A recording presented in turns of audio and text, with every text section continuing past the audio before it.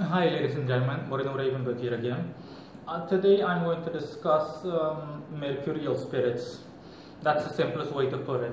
I unfortunately don't have a lot of experience with mercurial spirits, and um, I'm also not too familiar with people that do. I can't. I don't really know anybody um, that produces content online in which, uh, or I don't know any other magician or sorcerer that um, even back in the, in the day when I engaged with a, a, good deal of them, I don't know any other occultist, or I'm not familiar with any other occultist that that uh, has uh, specific, wide-ranged or extensive experience with mercurial spirits. So I just thought that I'd discuss the matter with them. The same goes for me, unfortunately. Like I said in the beginning, I don't have too many experience with them.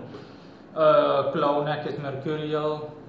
I have uh, Viewer is also mercurial mercurial slash solar um, and so on. There are a few that I've worked with that can be considered mercurial. Belial is also one of them.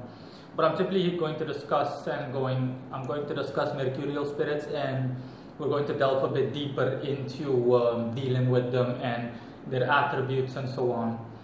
I unfortunately, one of the main reasons for why I don't have too much experience with spirits like these, mercurial spirits, is because um, I'm not too fond of them. I'm not to lie to you. I Mercury, as I'm not too fond of Mercury as a planet. No offense meant to Mercury under Michael's rulership, but uh, for some Raphael, but it's Michael, honestly, based on my knowledge and experience. Um, but I, I, was never too fond of Mercury. Okay, Mercury covers a, a, a variety of, of, things. Okay, a whole list of things, uh, not just one or two specific things.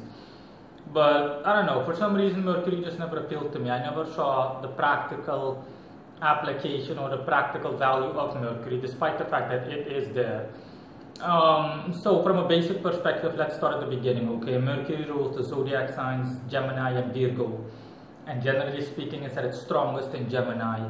Gemini is also the most recognizable mercurial, um, mercurial zodiac sign. Okay. So whenever you think about Mercury, aside from Virgo's uh, specifics, things like health, work, uh, craftsmanship, and all of those things, okay? Um, Gemini is the most, the most noticeable with everyday dealings, communications, in every way, shape, or form. We're talking about over the phone, on paper, uh, practically everything you do on the internet, whether it be audio or video wise or image wise, is the exchange of communication back and forth and that is noticeable in daily life okay? Regardless of whether you're someone that makes use of the internet or not doing something as simple as talking to someone is is uh, falls under Gemini and therefore Mercury.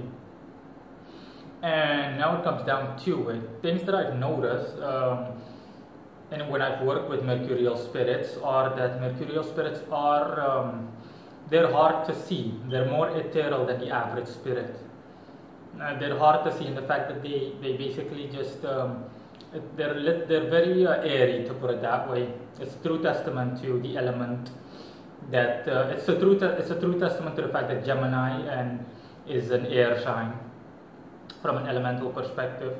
Um, an example examples that I can list are Belial and uh, Clauneck. Despite the fact that Clauneck isn't even Gemini, he's uh, Virgo. But um, things that they have in common in general, okay? Even with Belial, with Belial, generally speaking, I use uh, solar correspondences, but Belial, both can be used for Belial. He himself told me that. Um, a good deal of Gemini spirits or Mercurial spirits told me you can use solar as well as uh, Mercurial uh, Mercurial attributes for working with me because of the link that those two planets share.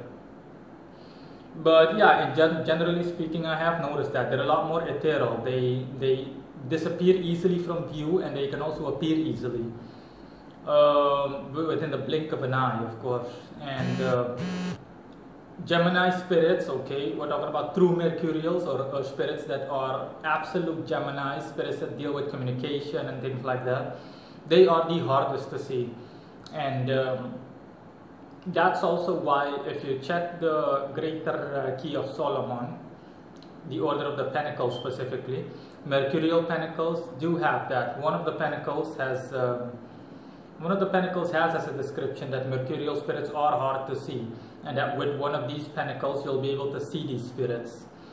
and that is true. Okay, I have no difficulty in seeing them, but like I said, they're very airy. Okay, their qualities, they're so they're the most transparent of every practically every spirit that I've worked with. I can't think of another spirit that is as transparent. None. Not even a Piscean spirits or spirits that are water based. Nah. All of them are. Um, uh, all um, mercurial spirits, more or less, are ethereal. Clauneck is also ethereal. They're very ethereal, okay, in the sense that um, it's hard to see them and so on. Uh, the only one for whom that doesn't really apply, I'd say, would be um, Seere, the Goetic Spirit Seere. But Seere is an exceptional case, to be honest. I know I have no issues with Seere in terms of um, transparency, but uh, Seere is also very um, very smooth in, in motion and um, and going from one place to the other.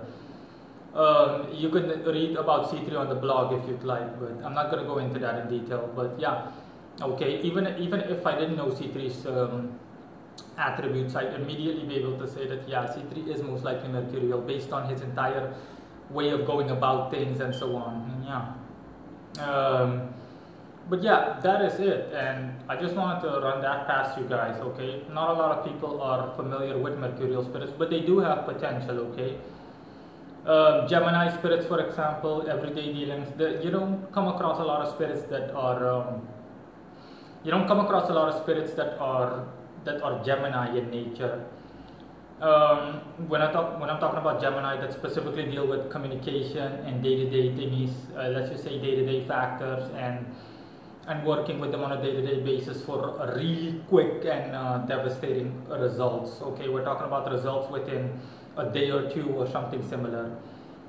There aren't too many of those kind of spirits out there. I might just um, I might just summon a couple of them to see uh, just for uh, record keeping purposes, one or two spirits that specifically deal with um, with Gemini related affairs, communication, going from short range distances, going um, getting results as quickly as possible, as swiftly as possible, and also spirits that are light to work with. Okay, generally speaking, uh, mercurial spirits are also the lightest spirits to work with in the sense that they they don't take such a heavy toll on you. Okay, the toll that they take on you is oh, compared to other spirits, generally speaking, is the least heaviest. Okay, so they're ridiculously light to work with. I also remember the first time that I summoned Belial.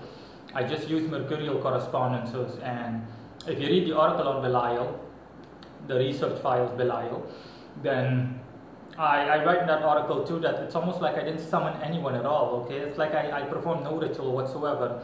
Belial was so ridiculously light, but after that, shortly after that, I started using solar uh, correspondences and and things changed after that. Belial did become heavy, but uh, not ridiculously heavy. But yeah, generally speaking, mercurial spirits, that's also one of the traits. Mercurial spirits are really light to work with. It hardly feels like you're working with any spirit at all. That's also one of the things I like about them. And uh, like I said, I might um, I might uh, do extensive research on them and just uh, scurry up some some mercurial spirits that specifically deal with um, with speed and, and and being able to do things within the blink of an eye and so on. Uh, so we'll see. Maybe one celestial, one infernal. We'll see. Uh, thanks for watching in any case. Bye.